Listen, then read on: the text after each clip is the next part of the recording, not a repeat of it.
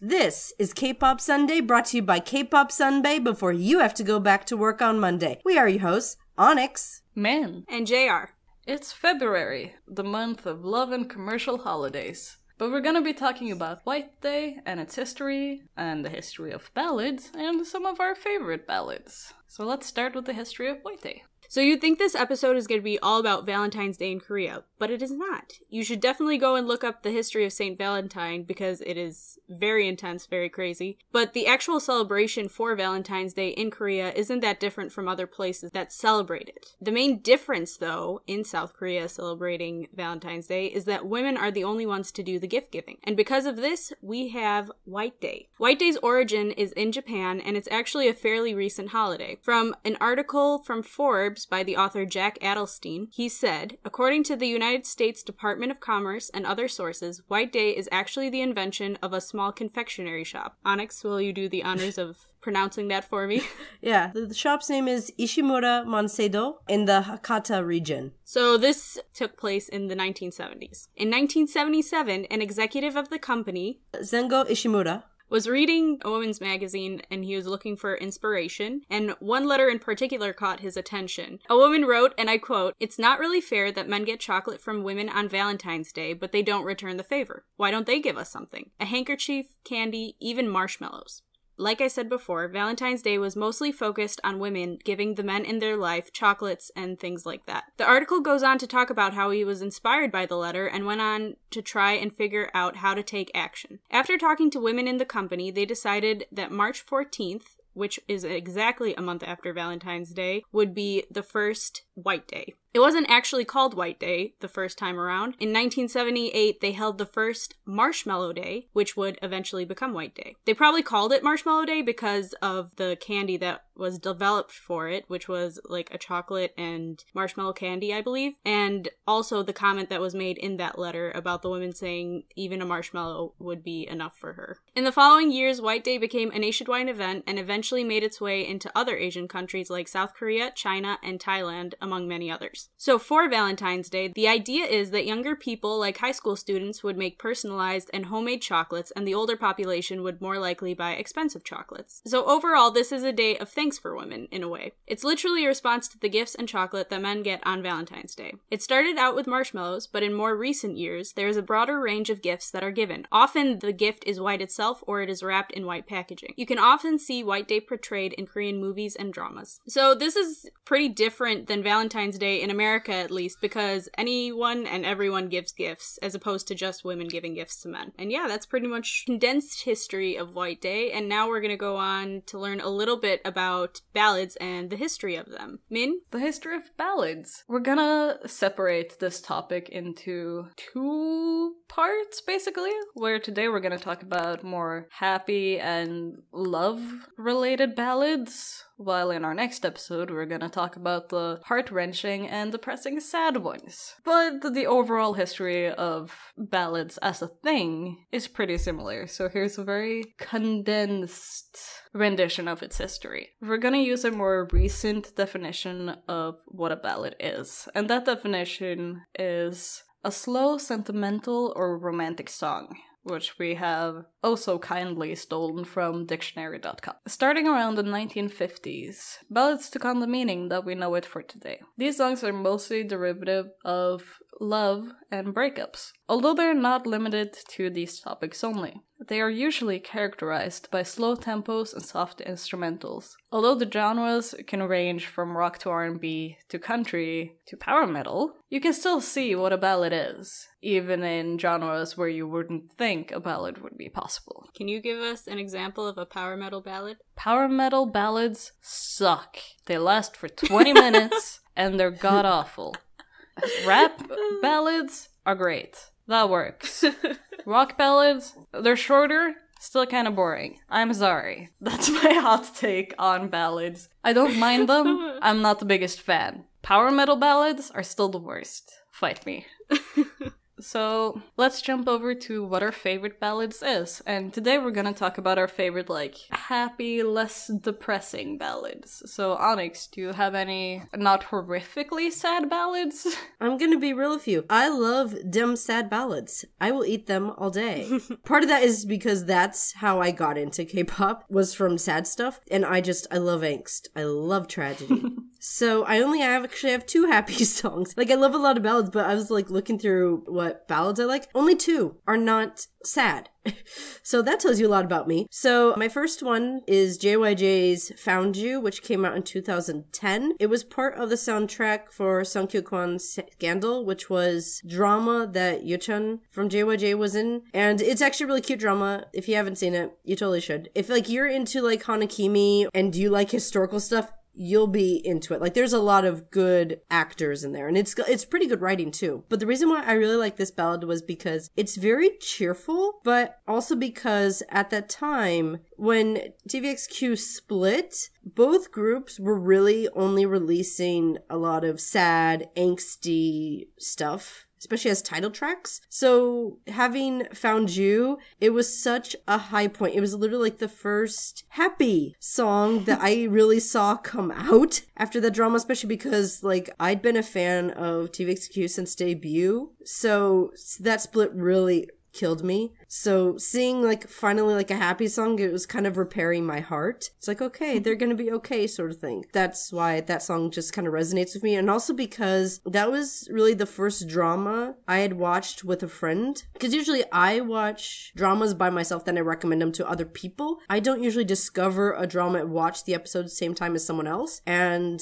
I had just made a friend around that time who was into K-pop. Actually, I got her into K-pop from Chinese pop with Super Junior. Like this was like our first drama watching experience together and she really loved it and we sometimes go through rewatches at the same time of this drama just because it means so much to us. So yeah, it's just it's very sweet. Unfortunately, it's very hard to find this track like official stuff for it because the whole "grr we are banning everything to do with JYJ" thing. But yeah, it's it's really good. I recommend it. My other one, this is actually my first happy ballad that I listened to uh, from a Korean artist. It's from Group S. It's their track I Swear that came out in 2003. So this is also one of my first exposures to HOT as well. Like I listened to Moon Hee-jun and I listened to JTL. And then this Group S was made up of Lee Ji Hoon and Shin Hyesung from Shinhwa. So this is my first time seeing those two and Kangta. They were a subunit and the music video opens with Kangta looking sharp in that gray suit and he's like being like a businessman and like he's like at a meeting and he's uh, giving a presentation. He just looks so handsome. And it was just like, wow. So yeah, it's such a happy song and it's like obviously like a romantic song, but it was just, you know, I'm I'm I've got a thing for guys who dress in suits, who look sharp. and I didn't know that till I watched that music video. So yeah, just a very happy, sweet song, especially since, like, at one point they're on a rooftop singing to this girl who I believe is a flight attendant, because, and they all have a crush on her. And one of the members, uh, well, one of the other guys, I think it's Jihoon, is like, he's like blowing glass, and it, it's, he's just, he's working with his hands, and it's great. And then, Blowing glass like making a vase? yeah! Oh I'm my not gosh. kidding! That's great. Yeah, and then the other dude, I'm always bad at pronouncing his name. Hey, Hyesung? Hyesung? H Y E S U N G. Hyesung. He Yep. he is like a university professor and like trapped in this gorgeous older building and like he's got like it looks like it's a glass rose from Beauty and the Beast and it's just really pretty. Like it's just a lot of very good looking visuals with a lot of handsome dudes. Oh, and also Lee Ji Hoon. He's also riding a motorcycle and I believe it's in the rain too at one point and it's just handsome. Angsty. No, it's not. It's not. It's not. It's it's genuinely It sounds like it is though. it sounds like out when I'm telling it, it sounds angsty only because I'm good at talking about angst. But it genuinely is sweet. I promise.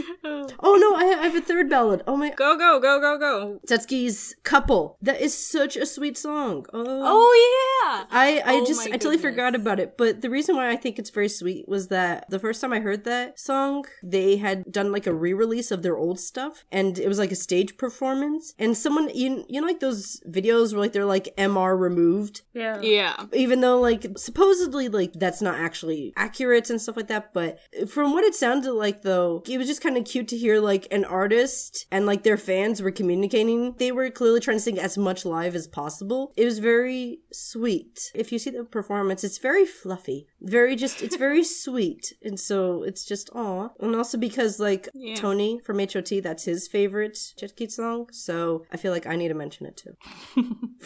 That was a, a few years ago, right? It was Oh, yeah, um, it was a couple- it was 2016, like- 2017 Yeah, 26, 2017. that they did the, Yeah. the re-release. Yeah, it's it's I do prefer this version over the older version. Once again, I think it's just because of age. It sounds more like looking back and Mm-hmm. in a way that the thing I like about older artists is that they sometimes the way that they sing their older songs like it's kind of reminiscent and it makes it kind of better in some ways. So, yeah. Right, right. Once again, I I ha- I told you I don't have many happy ballads. I don't listen to a lot of happy songs. So yeah, that's as happy as I get. Wait till the next episode. I'm gonna fill you up with misery. Anyway, speaking of something that begins with the letter M, Min, what ballads do you like? Great segue. Yeah, so as you might have noticed, I'm not very big on ballads, but I do have a playlist on one of my YouTube channels just called Sad K-pop.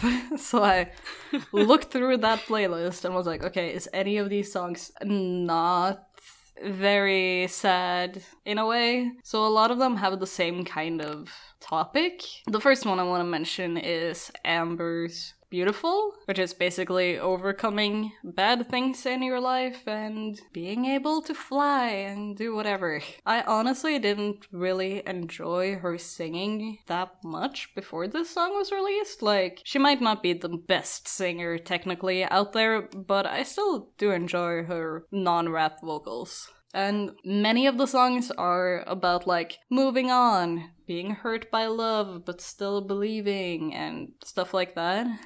but hey, they're not very sad. So, Suran? I don't know how to pronounce her name. Suran, Suran, yeah. Yeah. Her song Winterbird, which is about being hurt by love and then being able to still believe in love, is gorgeous. It's wonderful. I really like that song. I can't remember when I found it, but it was in the playlist and I listened to it and then I listened to it a couple more times. It's very good. Same with Lucia's Dalmatian. No, not Dalmatian. Damien. I think it's Damien. I'm not entirely sure. She's an indie artist, so I might be getting the topic of the song completely wrong, but I'm pretty sure it's also about being able to move on. It's very pretty, good indie. Two other like indie ballads that I like that I'm not entirely sure what are about, but I don't think they're super sad is Klang Klang? I, I guess. It looks like it would be that. It's a weird thing because that word is a Norwegian word, which means kind of like the sound of an echo in, in a way, or how an instrument sounds. And you would say like clunk. So I'm like, ah, confused.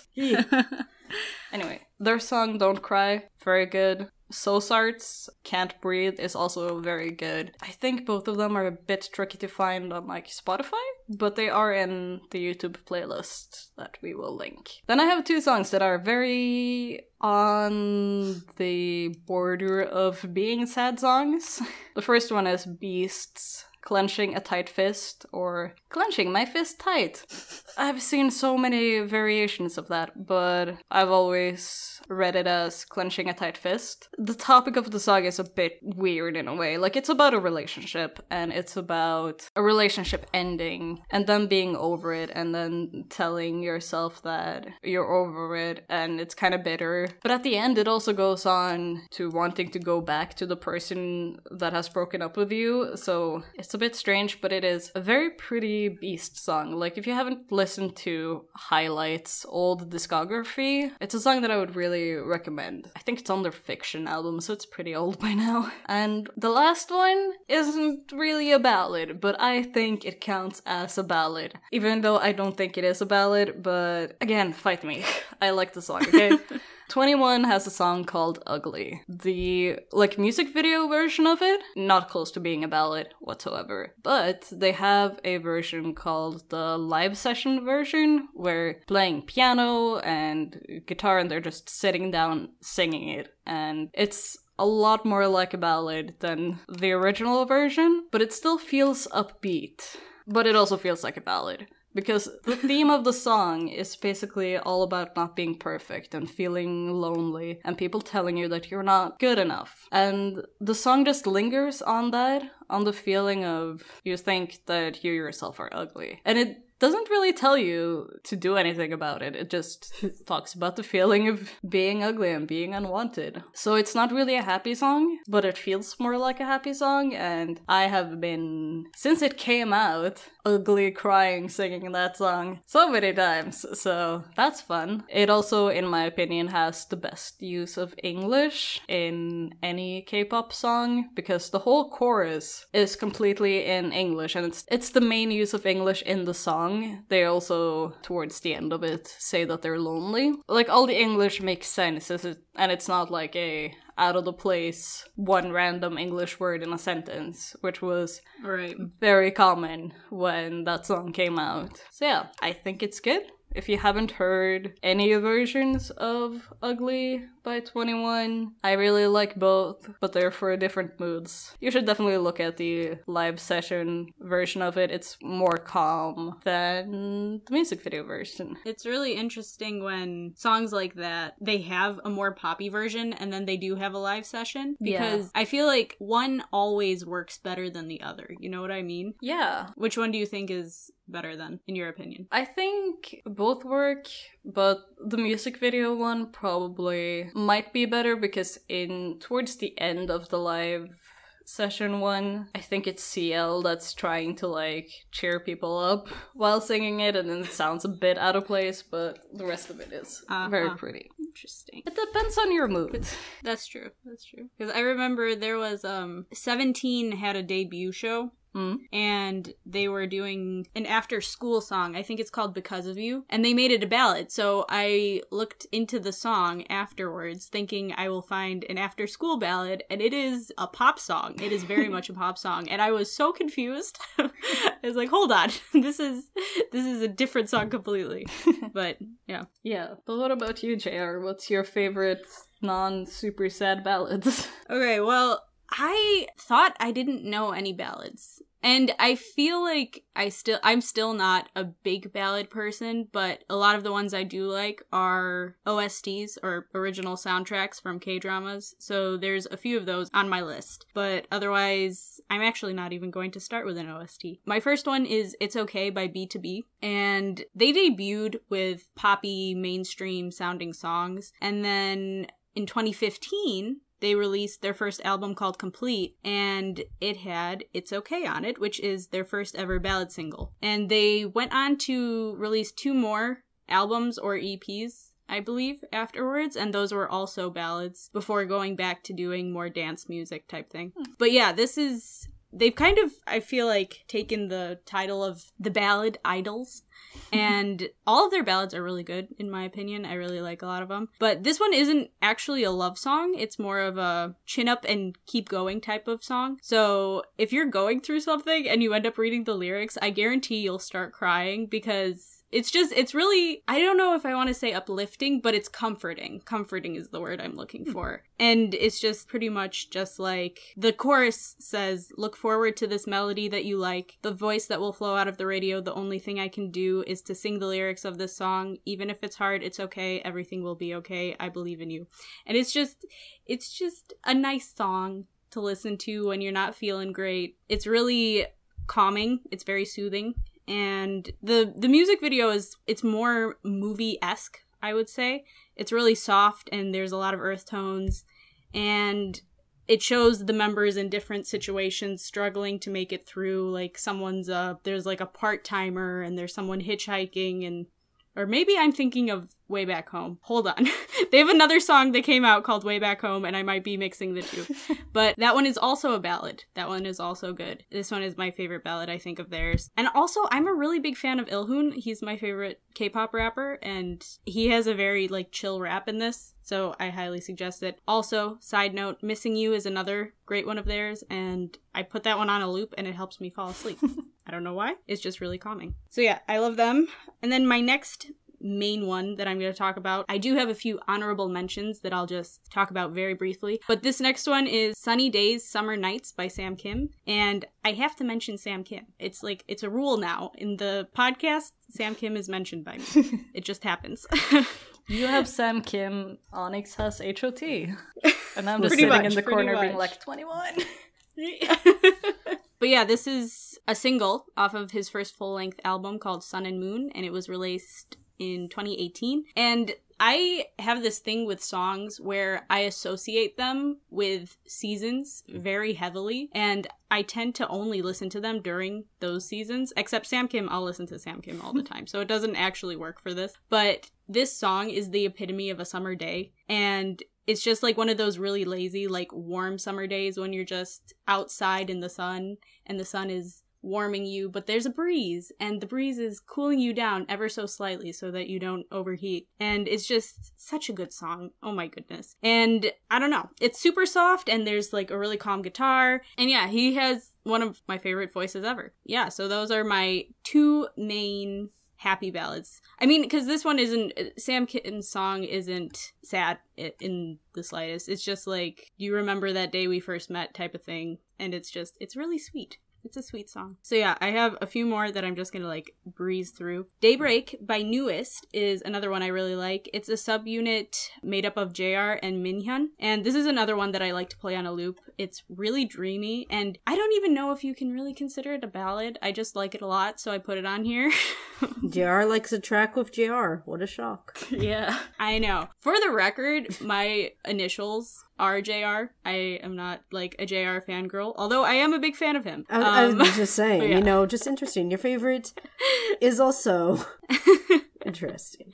I know, I know. But yeah, another one. Beautiful by Crush. It's a Goblin OST. I think Goblin is sometimes called the Great and Lonely God or something like that. That's a great drama. I highly suggest it. It's very well written. But yeah, I will also mention that Sam Kim has a Goblin OST called Who Are You? And that one's also really good, but I needed variety, so I added this Crush one. Because I also really like it. But yeah, a lot of the songs from Goblin did really well on the charts. And Crush is one of my favorite solo artists, and I really like a lot of his stuff. And then lastly, one more OST, Scent by Sam Kim. he made this song for the drama WW Search and I just really like OSTs. They're great. This one is really good too. It's it's really chill and the second it started playing in the drama, I knew it was Sam Kim's song because he has a very distinct voice. And yeah, I don't know. I don't know how to end this. I just really like the I like the songs I picked. If you guys want, you should check out all the songs we picked. There will be a playlist. There will be two playlists. There will be two playlists. I'm wrong. Yes, there are two playlists. Yeah, because not every song we have chosen is on Spotify, so we have a YouTube playlist too. So you can listen to all the ones that isn't on Spotify, along with the Spotify ones. It's a very long playlist. Sorry. we don't apologize. No, it's okay. no need to, to apologize for that. Oh no, I'm apologizing for the next playlist. Oh yeah, I've just lumped both of them together, so you'll have to figure it out for yourself which one is the sad songs and which are the happy ones. and if you don't know Korean, well, good luck.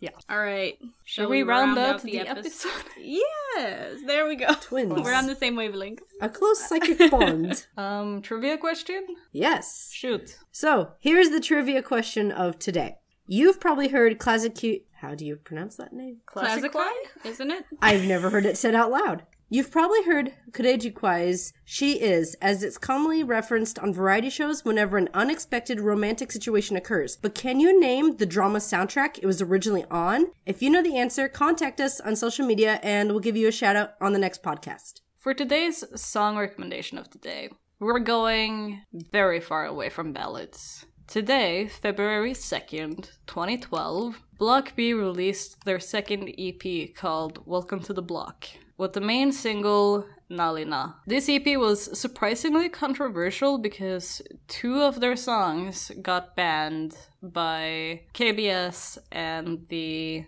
agency whose name I have completely forgotten that the protection of like youth, you know? That one Yeah, yeah, yeah. That just bans all songs. Two of their songs got banned. It's a really good EP. And it came out in 2012. That's a while ago. Don't talk like that. Oh my gosh, eight years. Alrighty. Thanks for listening. If you enjoyed this episode, then be sure to like, follow, subscribe, and tell your friends about us. If you want to interact with us or find more of our content, that you can follow us on Twitter at Kpop Sunbaes or on our Tumblr pages, which will be in the show notes. Also linked there will be two playlists made up of the mentioned songs from Spotify and YouTube. We hope you all have a very happy Valentine's Day, and if you don't, we will have a topic especially for you next episode. Bye everyone. Bye bye. Was it stupid No, to it say? works. Okay. Yeah, all right, it works. right. Goodbye. I think We're works done. so well. That's Okay, it. that was aggressive. Bye. We're done. okay, bye uh. now.